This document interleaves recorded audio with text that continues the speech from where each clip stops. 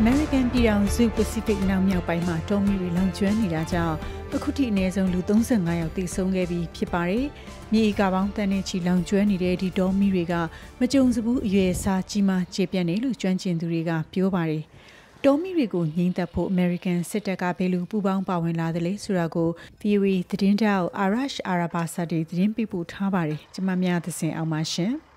Camp Pendleton အခြေစိုက်စခန်းမှာရှိတဲ့ American Marine တပ်တွေကနိုင်ငံအနောက်မြောက်ပိုင်းမှာအသက်ဆုံးရှုံးမှုဖြစ်လောက်တဲ့အထိစိုးစိုးဝါးဝါလောင်ကျွမ်းနေတဲ့တောမီတွေကိုကုညီငိမ့်သက်ဖို့ပြင်ဆင်နေကြပါတယ်။ဒီတပ်ဖွဲ့မှာမရင်းတပ်သား80လောက်ရှိပြီးသူတို့ဆန္ဒအလျောက်မိငိမ့်သက်ရမှာပါဝင်ဖို့စီးရင်ပေးကြတာဖြစ်တယ်လို့လည်းအရာခံဘို Andrew Hessinger ကပြောပါတယ်။ This mission it's it's in our own backyard. Okay, we have အခုယူရတဲ့တာဝန်ကကိုနေတဲ့နေရာမှာပါကျွန်တော်တို့မှာ Marine တပ်ဖွဲ့ဝင်တွေအများကြီးရှိပါတယ် Pendleton စကန်ကဒီမှာအခြေစိုက်တဲ့စကန်ကြီးဖြစ်ပြီးတော့ကျွန်တော်တက်စုမှာ90ရာခိုင်နှုန်းကျော်က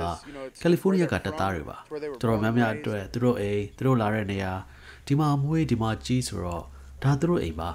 ဒီတပ်ဖွဲ့မှာမရင်းတပ်သား80လောက်ရှိပြီးသူတို့ဆန္ဒအလျောက်မိငိမ့်တက်ရမှာပါဝင်ဖို့စီးရင်ပြီးကြတာလေဖြစ်ပါတယ်။ American တစ်တော်ထိန်သိမ်းရေးဌာနကတာဝန်ရှိသူတူကလည်းမရင်းတပ်သားတွေနဲ့အတူမိငိမ့်တက်ရမှာနီးပြူဟာပိုင်းဆိုင်ရာအကူအညီရမယ့်အပေါ်မှာကြိုးစုတယ်လို့ပြောပါတယ် They're used to working in small units သူတို့ကစုဖွဲ့သေးလေးနဲ့လုပ်နေကြပါဒါကိုဘယ်လိုလုပ်ရမလဲဆိုတာသင်ယူပြီးကြော်ဖြတ်သွားပါလိမ့်မယ်